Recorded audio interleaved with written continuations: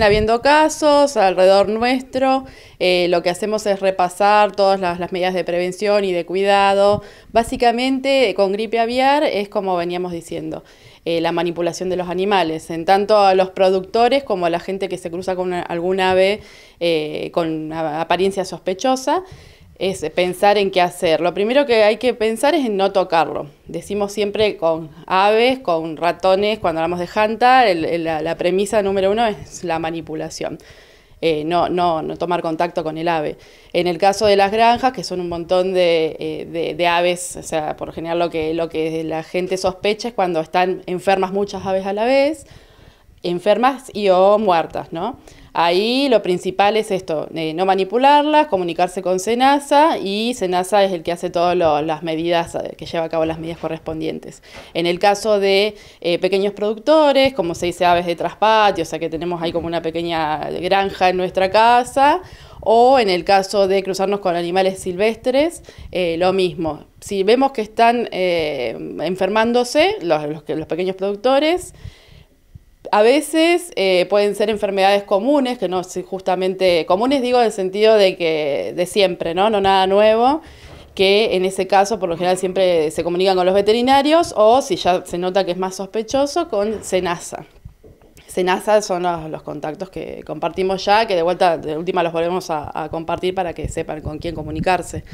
En el caso de eh, aves silvestres, que puede ser, eh, no sé, en estas zonas, los loros, en, esta época, como los chicos, mis compañeros de salud ambiental, sacaron hace poquito un comunicado reforzando eh, de que pueden encontrarse loritos que vienen ahora con las nueces o con, los frutitos de todos los árboles o que bajan y bueno, es la época. Eh, alguna loro muerto o raro, que también yo lo leía y pensaba como en rabia, cuando encuentran un murciélago raro, siempre es lo mismo, no ir y manipularlos directamente. Hay distintas formas, o sea, o, dejarlo ahí y no acercarse, ver si, si el animalito, si está medio tontón, si se levanta, vuelo y se, y se va, o si ven que está em, eh, caído y no queda otra que manipularlo, sí hay que manipularlo. Marisol, ¿y qué sucede con los animales domésticos? Por ejemplo, perro y gato. ¿Se transfiere la enfermedad de un, de un ave a estas mascotas? Eh, no, no, no, de perro y gato no. Eh, te digo por las dudas para que no quede duda. Si hay que manipular al animal, siempre con guantes y con protección, ¿no? Con el animal muerto, ¿no? Para que para cerrar. Una mascota agarra al animal muerto que nos pasa con los loros habitualmente en la calle.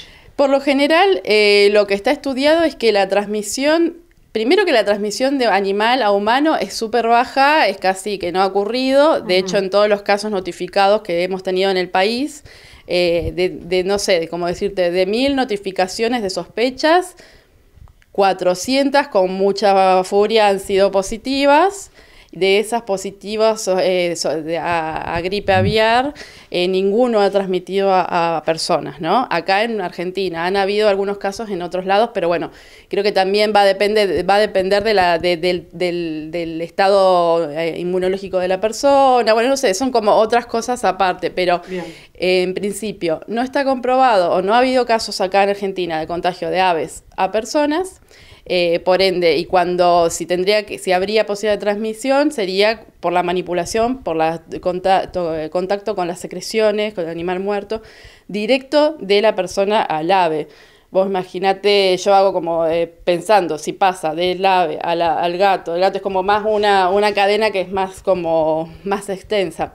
Igualmente, ante las dudas, ¿yo qué haría? si veo que mi perro, mi gato, agarra el ave, guantes, barbijo, lo que mejor pueda para protegerme. De hecho, los chicos han colocado también, en el caso de que tengas antiparras, ¿no? Han quedado cosas de COVID que lo podemos usar. Eh, protección, ahí eh, agarrar el ave, embolsarla, eh, o sea, aislarla.